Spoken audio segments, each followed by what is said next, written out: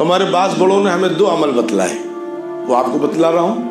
एक तो इसी इस्तफार की कसरत से वो अमल ज़रा सा मुनासिबत रखता है। उन्होंने कहा, बेटा काम किया करो। जुमे के दिन, जुमे की नमाज़ के बाद किसी से बात किए बगैर इमाम साहब जब सलाम फेर दें, अपनी जगह बैठे बैठे अव्वल, आखिर दुरू शरीफ पढ़ो। पाँच, सात, नौ मरतबे। और या गफ्फार दो सौ मरतबे पढ़ो। अय माफ़ करने वाले अय माफ़ करने या गफ्फार, दो सौ मरतबे पढ़ो, फिर अल्लाह से दुआ करो। अल्लाह बरकत देंगे इन इस्तफार का लफ्ज़ कुरान मजीद में है।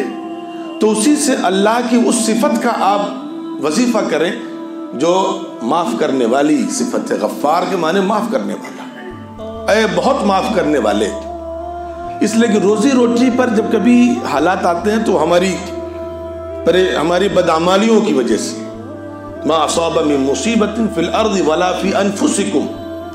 रुए ज़मीन पर या तुम्हारी ज़ात को कोई नुकसान अगर पहुँचता है तो वो तुम्हारे बुरे अमाल की वजह से।